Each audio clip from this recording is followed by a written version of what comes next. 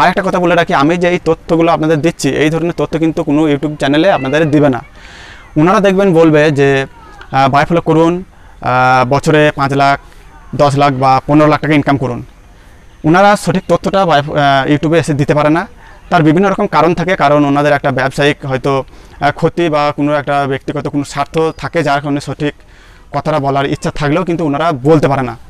এই দশটি বিষয় যদি আপনার জ্ঞান না থাকে বা এই দশটি বিষয়ের উপর যদি আপনি চর্চা না করেন, আপনার সমস্ত মাছ মারা যাবে। আপনি বায়োফ্লোকে আনসাকসেসফুল হবেন। আপনি কোনো রকমভাবে সফল হতে পারবেন না। সমস্ত মাছ মারা যাবে, সমস্ত টাকা আপনার লস হবে। বর্তমানে আপনারা দেখবেন যে এইটটি থেকে নাইনটি পার্সেন্ট বায়োফ্লক চাষি লস করছে বা সমস্ত মাছ মারা যাচ্ছে বা সাকসেস করতে পারছে না বা সাকসেস হচ্ছে না।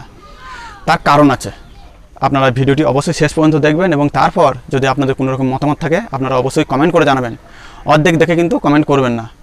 অনেকেই আমাকে কমেন্ট করছে বিভিন্ন রকমভাবে যে, দাদা, এটা কি এটা কি? প্রত্যেক ভিডিওয় আমার ফোন নাম্বার বা হোয়াটসঅ্যাপ নাম্বার দেওয়া আছে। তারপরে অনেকে জিজ্ঞাসা করে, দাদা, আপনার নাম্বারটা নেই, আপনার নাম্বার দেন, আপনাকে হোয়াটসঅ্যাপ করব বা আমি বই নেব।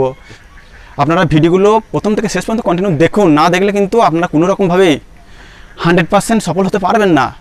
কারণ হান্ড্রেড পার্সেন্ট সফল হতে গেলে কিন্তু আপনাকে সঠিক ইনফরমেশনগুলো আপনাকে নিতে হবে, পেতে হবে। তো সঠিক ইনফরমেশন পাওয়ার জন্য কিন্তু অবশ্যই আপনাকে ভিডিওটি প্রথম থেকে শেষ পর্যন্ত দেখতে হবে। দয়া করে আপনারা ভিডিওটি প্রথম থেকে শেষ পর্যন্ত দেখুন এবং আপনারা বায়োফ্লোকে সঠিকভাবে জানুন, বুঝুন, তারপর বায়োফ্লো করুন। তাছাড়া আপনাদের কিন্তু কোনো রকম গতি নেই, আপনারা কিন্তু বায়োফ্লোক আপনাদের কিন্তু লসই হবে। আপনারা কিন্তু ওই নাইনটি পার্সেন্ট লোক যারা বায়োফ্লোকে আনসাকসেসফুল হচ্ছে, ওদের দলে কিন্তু আপনাকেও যেতে হবে।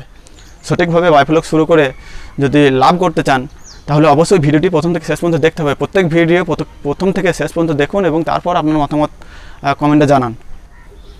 দর্শক, আশা করছি সকলেই ভালো আছেন এবং সুস্থ আছেন। আমি মোহাম্মদ শফি, দেশ এবং দেশের বাইরে থেকে যারা দেখছেন, সকলকেই বেঙ্গল ফার্মিংয়ের তরফ থেকে আবারও একটি নতুন ভিডিওতে অনেক অনেক শুভেচ্ছা, ভালোবাসা ও আন্তরিক অভিনন্দন জানিয়ে শুরু করছি। আজকে আমি বায়োফ্লোকের দশটি পয়েন্টের উপরে কথা বলব। এই দশটি পয়েন্ট যদি আপনাদের জানা না থাকে বা এই দশটি পয়েন্টের উপরে আপনারা কোনো রকম চর্চা না করেন, তাহলে হান্ড্রেড পারসেন্ট আপনারা বায়োফ্লোকে লস করবেন, আপনাদের সমস্ত মাছ মারা যাবে এবং আপনারা বায়োফ্লোকে হান্ড্রেড পারসেন্ট ফেল করবেন। এই দশটি পয়েন্ট আপনাদের অবশ্যই জেনে রাখা দরকার। আপনারা যেভাবে হোক এই দশটি পয়েন্টের উপর আপনাদেরকে জানতেই হবে। তো যাই হোক, বেশি কথা বাড়াবো না, সরাসরি চলে যাব আজকে ভিডিওর মূল বিষয়ে। তার আগে একটা কথা বলতেই হচ্ছে, চ্যানেলে নতুন হয়ে থাকলে অবশ্যই চ্যানেলটি সাবস্ক্রাইব করে পাশের বেল বাটনে ক্লিক করে রাখুন পরবর্তী ভিডিওর নোটিফিকেশন পাওয়ার জন্য। কারণ এই ধরনের ভিডিও আপলোড করে থাকি আর যারা অলরেডি সাবস্ক্রাইব করছেন, অসংখ্য ধন্যবাদ। তো চলুন, শুরু করা যাক।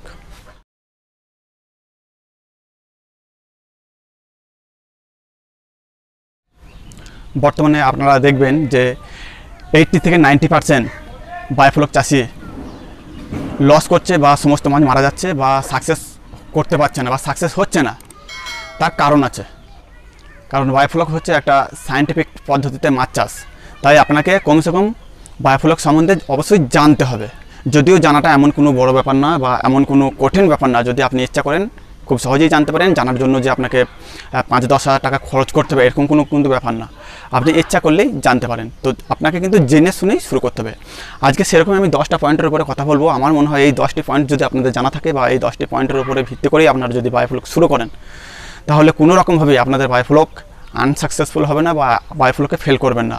অবশ্যই আপনারা এই দশটি বিষয় যদি চর্চা করেন বা এই দশটি বিষয়ের উপরে জেনে শুনেই যদি আপনারা বায়োফ্লক শুরু করেন, তাহলে অবশ্যই আপনি হান্ড্রেড পার্সেন্ট সফল হবেন এবং একজন সফল মাছ চাষি হিসেবে আপনি আপনাকে আপনি সমাজের সবার সামনে তুলে ধরতে পারবেন।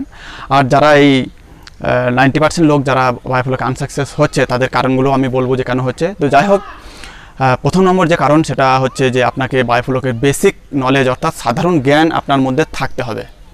এক নম্বর হচ্ছে বায়োফ্লকের সাধারণ জ্ঞান, অর্থাৎ বেসিক নলেজ আপনার মধ্যে থাকতেই হবে।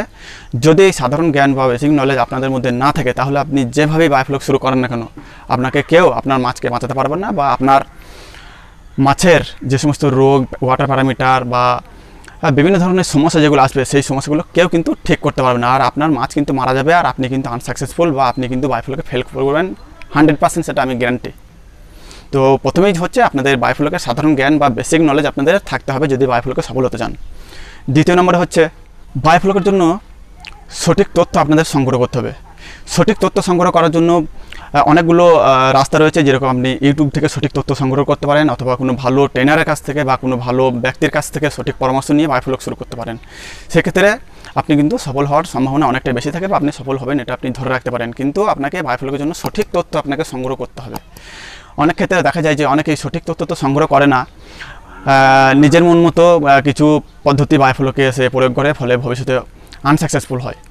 তো এক্ষেত্রে যে মন গড়া যে ব্যাপারগুলো বা বিভিন্ন জায়গা থেকে বিভিন্ন রকম তথ্য সংগ্রহ করে সঠিক তথ্য না নিয়ে কালচার যদি করে, সেক্ষেত্রে কিন্তু আনসাকসেসফুল আনসাকসেসফুল হওয়ার কারণটা বেড়ে যায় এবং সে আনসাকসেসফুল হয় এবং ভবিষ্যতে বায়োফ্লক সম্পর্কে খারাপ ধারণা তৈরি হয়। বলে যে বায়োফ্লক নাকি আনসাকসেসফুল বায়োফ্লক পদ্ধতিতে মাছ চাষ করে কোনোভাবেই সফল সম্ভব নয়। তো নিজেরা ভুল করে কিন্তু বায়োফ্লকের উপরে পরে দশটা পেয়ে দেয় তো যাই হোক, আপনাকে দ্বিতীয় নম্বর হচ্ছে যে বায়োফ্লকের জন্য সঠিক তথ্য আপনাকে সংগ্রহ করতে হবে। এরপর চলে আসব তিন নম্বর। বায়োফ্লকের জন্য সঠিক সরঞ্জাম সঠিক জায়গা থেকে সঠিক দামে আপনাকে কিনে বায়োফ্লক শুরু করতে হবে। আমরা বায়োফ্লক যখন শুরু করি বা বায়োফ্লকের যখন ভিডিও দেখি, আমরা উৎসাহিত হয়ে, আমরা আগে পিছিয়ে না ভেবে আমরা যেখানে সেখানে থেকে বায়োফ্লকের সরঞ্জাম কিনি তিন হাজার টাকা মাছ ছ হাজার টাকা দাম দিয়ে কিনে নিয়ে চলে আসি। পরে বলি, দাদা, আমার এই সমস্যা হচ্ছে, ওই সমস্যা হচ্ছে। এই কয়েকদিন আগে আমাকে এক দাদা বলেছিলেন যে, দাদা, আমার বায়োফ্লকের ট্যাঙ্কে তারপরে ট্যাঙ্ক নিয়েছিলেন উনি দশ হাজার লিটার। তো ওনার ট্যাঙ্কে নাকি রং উঠে যাচ্ছে। তো এই যে সমস্যাগুলো, এইগুলো কিন্তু আগে ভাবা দরকার। তো যেখান থেকে আপনি বায়োফ্লকের সরঞ্জাম কিনবেন, অবশ্যই ভালো করে যাচিয়ে নেবেন, দেখে বুঝে জেনে শুনে সবই, তবেই কিনবেন। না হলে কিন্তু পরে পস্তাতে হবে, তখন কিন্তু আর কিছু করার থাকবে না। এরপর আসি চার নম্বর। চার নম্বর বিষয়টা কিন্তু অনেকটাই গুরুত্বপূর্ণ। সঠিকভাবে আপনাকে ট্যাঙ্ক সেট করতে হবে। ট্যাঙ্ক সেট করার সময় কোনো তাড়াহুড়ো করা যাবে না। ধীরে সুস্থে জেনে বুঝে সব কিছু গুছিয়ে আপনাকে ভালোভাবে করতে হবে। নাহলে কিন্তু ভবিষ্যতে আপনার ওয়াটার প্যারামিটার নিয়ে বিভিন্ন রকম সমস্যা হতে পারে। তাই আপনারা অবশ্যই আমার চ্যানেলে একটা ট্যাঙ্ক সেট ভিডিও অনেকগুলো আছে। আপনারা দেখে নেবেন। সেখান থেকে অবশ্যই আপনারা সঠিক ইনফরমেশন পেয়ে যাবেন আশা করছি। তো অবশ্যই চার নম্বর পয়েন্ট হচ্ছে যে আপনারা ট্যাঙ্ক সেট নিখুঁতভাবে এবং খুব ভালোভাবে জেনে বুঝে সতর্কভাবে করার চেষ্টা করবেন। এরপর চলে আসছি পাঁচ নম্বর। পাঁচ নম্বর পয়েন্ট হচ্ছে মিনিমাম দশ হাজার লিটার ট্যাঙ্ক দিয়ে শুরু করার চেষ্টা করুন। কারণ ভবিষ্যতে আপনারা যখন বড় ধরনের ট্যাঙ্ক করবেন বা বড় ধরনের প্রজেক্ট করবেন, এরকম চিন্তাভাবনা নিয়ে শুরু করছেন, দুশো বা পাঁচশো বা হাজার লিটার ট্যাঙ্ক দিয়ে যারা শুরু করছেন, দুশো, পাঁচশো বা হাজার লিটার থেকে কিন্তু সেইভাবে বায়োফ্লকের কিছু শেখা যাবে না। তাই যদি আপনারা ভবিষ্যতে বড় ধরনের করার কোনো ইচ্ছা থাকে, তো অবশ্যই মিনিমাম দশ হাজার লিটার ট্যাঙ্ক দিয়েই শুরু করার চেষ্টা করুন। তাহলে কিন্তু আপনারা অনেকটাই শিখতে পারবেন এবং সেখান থেকে যখন আপনি শিখে কোনো বড় ধরনের একটা প্রজেক্ট করবেন, ভবিষ্যতে কোনো রকম অসুবিধা হবে না। তাই অবশ্যই আপনারা মিনিমাম দশ হাজার লিটার ট্যাঙ্ক দিয়েই শুরু করার চেষ্টা করুন। এরপর চলে আসছে ছ নম্বর। মাছ চাষে অর্থাৎ বায়োফ্লক পদ্ধতিতে মাছ চাষে সফল হওয়ার জন্য পুনা নির্বাচনটা কিন্তু একটা গুরুত্বপূর্ণ ভূমিকা পালন করে। এই পুনা নির্বাচনের ক্ষেত্রেই কিন্তু এই পুনা উপরে কিন্তু মাছ চাষের লাভ ক্ষতি অনেকাংশে নির্ভর করে। তাই আপনাকে অবশ্যই পুনর্নির্বাচন করার সময় অনেক সতর্কভাবে এবং সঠিকভাবে দেখে বুঝে সঠিক পুনা নিয়ে যদি কালচার করতে পারেন, তাহলে কিন্তু আপনার কোনো রকমভাবেই মাছ চাষের লস হওয়ার সম্ভাবনা থাকবে না। তাই সঠিক পুনা কীভাবে নির্বাচন করতে হবে, এই ব্যাপারে আমি এর আগে একটা ভিডিওতে আলোচনা করছি। অবশ্যই আমার চ্যানেলে গিয়ে সেটা দেখে নেবেন। তাহলে আপনাদের সুবিধা হবে যে সঠিক পুনা কীভাবে নির্বাচন করা যায় বা সঠিক পুনার কীভাবে, কী লক্ষণ বা ভালো পুনা কীভাবে চিনবেন? তো এই ব্যাপারে অলরেডি আমি একটা ভিডিও আমার চ্যানেলে আপলোড করে রেখেছি। অবশ্যই আপনারা চ্যানেল গিয়ে দেখে নেবেন অথবা আমি ডেসক্রিপশন বক্সে লিঙ্ক দিয়ে দেবো, সেখান থেকেও দেখে নিতে পারেন। এরপরে চলে আসছে সাত নম্বর।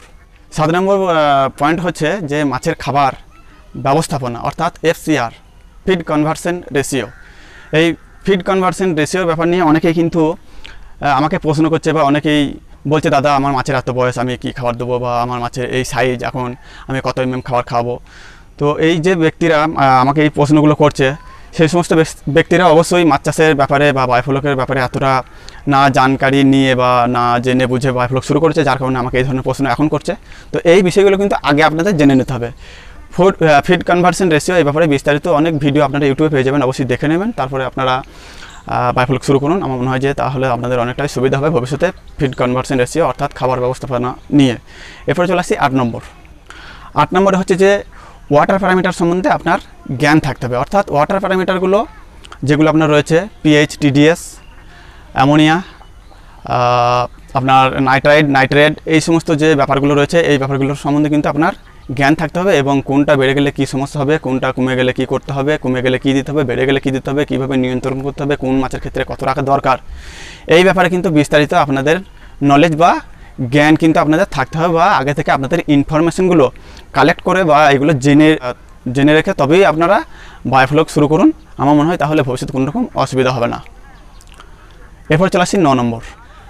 ন নম্বর হচ্ছে যে আপনাদের বায়োসিকিউরিটি অবশ্যই মেনটেন করতে হবে। বায়োসিকিউরিটি মেনটেন যদি না করেন, সেক্ষেত্রেও কিন্তু বায়োফ্লোকে অনেক রকম ভবিষ্যতে সমস্যা হতে পারে। তো অবশ্যই বায়োফ্লো করতে গেলে আপনাকে বায়োসিকিউরিটি মেনটেন করতে হবে। যদি বায়োসিকিউরিটি মেনটেন করে তাহলে কিন্তু ভালো রেজাল্ট পাওয়ার আশা করা যেতে পারে।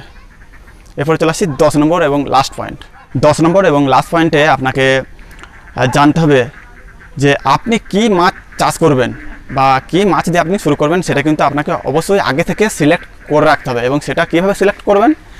আপনার এলাকা অনুযায়ী আপনি সিলেক্ট করবেন এবং আপনার এলাকায় কোন মাছের দাম কত, এটা কিন্তু আপনাকে দেখে তবেই আপনি মাছ সিলেক্ট করবেন। কিন্তু এই মাছ সিলেক্ট করার ব্যাপারে আরেকটা কথা বলে রাখব যে শুধুমাত্র দামটা বাজারে বা মার্কেটে দেখলে হবে না। কোন মাছের কেমন গ্রোথ বা কোন মাছ কতদিনে মার্কেটজাত করা যায়, এই ব্যাপারটা কিন্তু অবশ্যই আপনাকে মাথায় রাখতে হবে এবং কোন মাছ চাষ করলে কতদিন সময় লাগবে বা কী কী সমস্যা হতে পারে বা কোন মাছের সমস্যা বেশি বা কোন মাছের সমস্যা কম, কোন মাছের গ্রোথ ভালো, এই ব্যাপারগুলো ব্যাপারগুলো কিন্তু অবশ্যই আপনাদের মাথায় রেখে তবেই কিন্তু আপনি কোন মাছ সিলেক্ট করবেন, এই ব্যাপারটা নির্ধারণ করবেন। তো যাই হোক, এটাই ছিল আজকের ভিডিওর মূল বিষয়বস্তু। আশা করছি আপনারা বুঝতে পেরেছেন। আপনাদেরকে আমি দশটা পয়েন্টে ভাগ করে ব্যাপারগুলো বোঝানোর চেষ্টা করলাম। যারা নতুন এবং নব্বই পার্সেন্ট বায়োফ্লোকে আনসাকসেসফুল এবং বায়োফ্লোকে সফল হতে পারছে না বা বায়োফ্লোকে বিভিন্ন রকম সমস্যার কারণে সমস্ত মাছ মারা যাচ্ছে, আমার মনে হয় যে এই দশটি পয়েন্ট ওনারা মেনটেন করছেন না বা ওনারা এই ব্যাপারগুলো জানেন না। আমার মনে হয় যে যারা এখনও শুরু করেননি, এই দশটি পয়েন্ট যদি আপনারা ভালো করে দেখেন, বুঝেন বা আপনারা এর উপরে চর্চা করেন এবং তারপর যদি বায়োফ্লক শুরু করেন, একশো পার্সেন্ট আপনারা বায়োফ্লকে সফল হবেন, এটার আমি গ্যারান্টি দিতে পারি। আর যারা সফল হতে পারছেন না, আমার মনে হয় এই সম্পর্কে সাধারণ জ্ঞান বা সাধারণ নলেজ বা আপনার এই দশটি পয়েন্টের ওপর কোনো রকম ওনাদের চর্চা বা কোনো রকম ওনাদের শেখার আগ্রহ নেই, যার কারণে ওনারা আনসাকসেসফুল হচ্ছেন এবং ভবিষ্যতে ওনারা বলছেন নাকি যে বায়োফ্লক ফালতু একটা পদ্ধতি, এখানে কোনো রকমভাবে মাছ চাষ করে সফল হওয়ার সম্ভাবনা নেই। তো আর একটা কথা আপনাদের বলে রাখি, আপনারা যদি একটু লক্ষ্য করে দেখবেন মালয়েশিয়া এবং ইন্দোনেশিয়া, আপনারা যদি দেখেন, ওখানে দেখবেন যে এক এক ব্যক্তি দশটা, বিশটা এবং তিরিশটা, পঞ্চাশটা পর্যন্ত ট্যাঙ্ক সেট তৈরি করে সেখান থেকে প্রচুর পরিমাণে অর্থ উপার্জন করছেন এবং ওনারা একদম হান্ড্রেড পার্সেন্ট সফল মাছ চাষি বলা যেতে পারে। ওনাদের কিন্তু আমাদের মতো, অর্থাৎ বাংলাদেশ এবং ইন্ডিয়ায় যে সমস্ত সমস্যাগুলো হচ্ছে, এই ধরনের সমস্যাগুলো কিন্তু ওনাদের ওখানে নেই। কারণ ওনারা সঠিক ইনফরমেশন বা সঠিক তথ্য নিয়ে কিন্তু বায়োফ্লক শুরু করেন। আর একটা কথা বলে রাখি, আমি যে এই তথ্যগুলো আপনাদের দিচ্ছি, এই ধরনের তথ্য কিন্তু কোনো ইউটিউব চ্যানেলে আপনাদের দিবে না। ওনারা দেখবেন বলবে যে বায়োফ্লক করুন বছরে পাঁচ লাখ দশ লাখ বা পনেরো লাখ টাকা ইনকাম করুন। ওনারা সঠিক তথ্যটা ইউটিউবে এসে দিতে পারে না। তার বিভিন্ন রকম কারণ থাকে। কারণ ওনাদের একটা ব্যবসায়িক হয়তো ক্ষতি বা কোনো একটা ব্যক্তিগত কোনো স্বার্থ থাকে যার কারণে সঠিক কথাটা বলার ইচ্ছা থাকলেও কিন্তু ওনারা বলতে পারে না। তাই আমি আপনাদের আজকে এই সরাসরি খোলাখুলি এই কথাগুলো বললাম।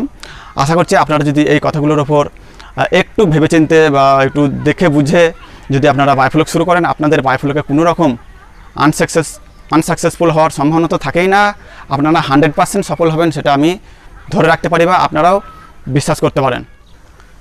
আর একটা কথা বলে রাখি, আমার প্রত্যেক ভিডিও ডেসক্রিপশনে টেলিগ্রাম গ্রুপ লিঙ্ক দেওয়া আছে, আপনারা চাইলে সেই গ্রুপে জয়েন করতে পারেন। বায়োফ্লগ নিয়ে সেখানে প্রশ্ন উত্তর হয় আশা করছি আপনাদের সেখান থেকে অনেকটা হেল্প হয়ে যাবে এবং আপনারা সেখান থেকে অনেক রকম ইনফরমেশন বায়োফ্লকের পেয়ে যাবেন।